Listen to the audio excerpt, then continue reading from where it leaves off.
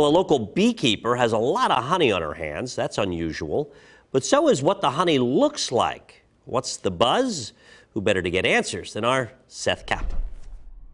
These are the three of the hives that we have. For Kay Walters, beekeeping is serious, but a serious hobby. Do you sell your honey? No, we don't. We've never had enough honey to sell. At least not in the past. Usually we have two buckets and they're filled maybe up to here. Well, this year we have had four buckets of, of this size. Look at her kitchen, and she's not done with the harvest. And it's not just the quantity. So it was that color. This is this year's honey, much darker. All from about the same number of bees as usual. About 40,000 in a, in a complete hive. Like this one? Or in there, yep.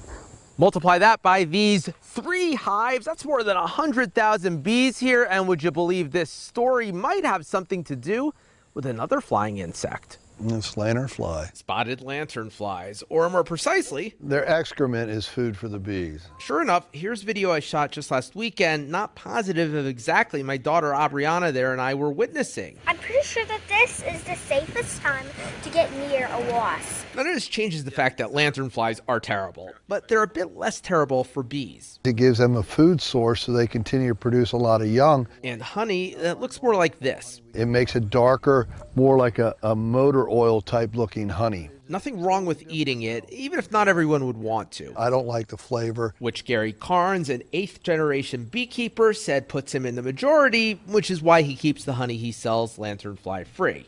The majority of my uh, bees have been moved north uh, into the northern part of the state in lower New York to keep my honey uh, uncontaminated. I tried both. Let's see, so this is The lighter tasted more like typical honey. The darker, different, but I thought fine. People who like coffee seem to not like or don't mind the flavor taste at all. Which, well, yeah. Seth Kaplan, ABC 27 News.